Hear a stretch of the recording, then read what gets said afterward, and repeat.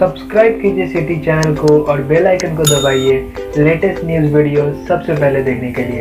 समस्तीपुर जिला अंतर्गत खानपुर थाना क्षेत्र के खतुहा चौक के पास बैंक से पैसा निकासी कर लौट रहे तीन ग्राहक सेवा केंद्र संचालकों से अपराधियों ने आठ लाख पचपन हज़ार रूपए लूट लिए।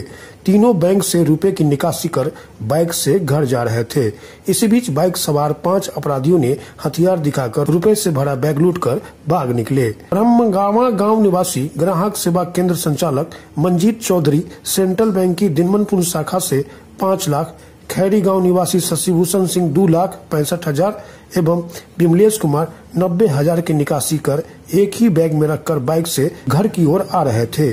खतुहा चौक से कुछ दूर आगे ट्रांसफार्मर के पास पहुँचे ही थे कि पीछे से आ रही दो बाइक पर सवार पाँच की संख्या में बैठे अपराधियों ने संचालक की बाइक को ओवरटेक कर रोक लिया। दो लुटेरा हाथ में पिस्तौल लेकर उतरा और रुपये से भरा बैग लूट कर भाग निकला। प्रीत मंजीत चौधरी ने बताया कि हम लोग अपना अपना रुपए लेकर एक ही बाइक से घर जा रहे थे। इसी दौरान बाइक सवार पाँच अपराधियों ने पिस्तौल के बल पर इस घटना को अंजाम दिया है। थाना अध्यक्ष दिल कुमार भारती के अनुसार लूट की घटना की जाँच की जा रही है।